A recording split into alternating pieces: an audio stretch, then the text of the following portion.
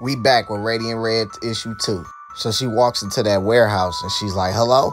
She gets to this door and she sees her stairs right there. She goes up in there and she goes up the stairs. Tried to open this door, but it was locked. So she kept going up the stairs until she found this door that was open. She goes up in there and there's nobody still in there. She's like, hello, I'm looking for. That's when this light came on, right? And she was like, oh shit. As they just dropped magma on her ass. She get out that shit cool, like way too close. That's when these dudes came through talking about some uh, pretty impressive trick, lady, but little advice. Stay on your toes when you go walking in the dark buildings at night. Nice mustache, very intimidating, but I'm looking for the guy with the hair. You got other problems to worry about, bigger ones, namely me. Now let's see what you got he tried to swing at her ass. She dodged that shit. Psh, cracked the shit out of his ass. That's when this dude with this hammer came to me. Ah! She grabs that shit. Then another dude came with this big ass wrench. She transmute the damn hammer and she get hit with the damn wrench. She make her hand big as fuck from that hammer talking about some stop wasting my time. Crack all three of their ass. The big dude get up and try to lunge at her. Smack this shit. Ugh, he falls over. So now they all knocked the fuck out. That's when somebody behind her was like, poor Danny, now he owes me $20 as he clapping. His shift, he was like, glad you made it, Red. She's like, who's Danny? The guy who bleaches your hair? He's like, nah, that's Cristobal. Danny's the hulkling gentleman who connected with your fist several times. Idiot swore he'd last at least 10 minutes against you. Wonder if his wallet is floating around here somewhere. You having fun yet? I'm not here to play games with some lowlife who's in love with his own voice. I'm here to end this. Keep your job offer and stay away from my family, GQ. Now that hurts my feelings. I wish we could talk and make it all better. But unfortunately, it's not going to work out that way as he pressed this thing on his arm and he turns it to shift. He said, What do you think of my gear? Personally, I think it's better than yours. Guess we'll have to find out. She says, Jesus, you're exhausting. He's like, Ready as they booted up. She tried to punch his ass, but she went straight through him and hit the wall behind him. She's like, Did you just phase through? He crack her ass. She like, Ugh. Then he kick her ass. Then he jump in the air and was about to stab her with a sword. She smacked the fuck out of his ass with the back of her hand. He go flying. Then she jump on. She jump up, was about to hit his ass. She kicked the fuck out of her ass. She go to this wall. He said, "You got a couple good ones in there, Red. Too bad." She was like, "Stop!" And she reached her hand out and shoot out fire. His ass phased through that shit. She was like, "That's new." And she was looking at her hand steaming.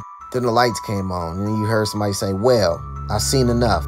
Impressive performance. As she reached and tried to give her hand out, Red smacked that shit. So you're in charge, huh? Happy with the song and dance. Your ninja ripoff tried to tear up my life like it's some fun little show for you. I should squeeze your. How else could we have gotten you here? How else could you have shown up? You and your goons, you mean nothing to me. So lay off because whatever it is you're threatening me with, I'll return tenfold as her ass grew bigger and was glowing with red ass energy. With a smile, and these motherfuckers put the gun to her face. I know this wasn't the best introduction, an unfortunate necessity. I wanted to talk some business with you, get to know each other. I'm Margot. I'm not interested. I know a lot about you already actually wanted to see a little more for myself, but you've come up.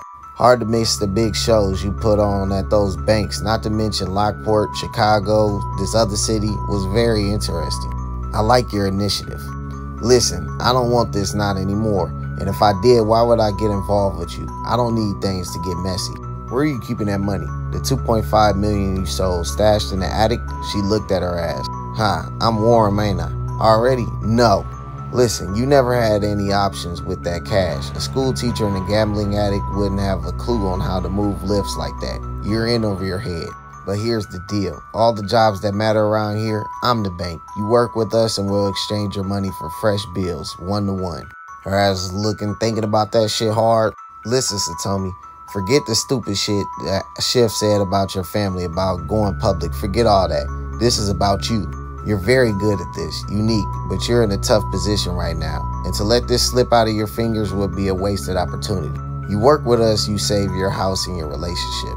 You won't have to worry about your job, about anyone finding out. You'll have protection. You're a shark, but right now you're alone. We'd have your back.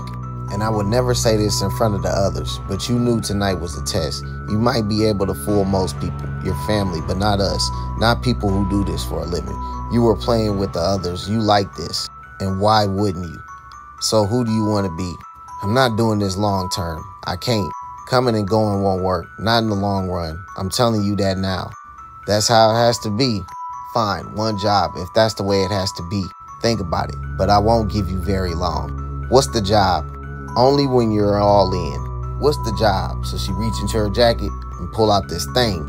This is Mercury S, extremely valuable, extremely toxic. That's where you come in. Click on the playlist at the bottom to catch up with this massive verse shit, and the next issue gonna be next.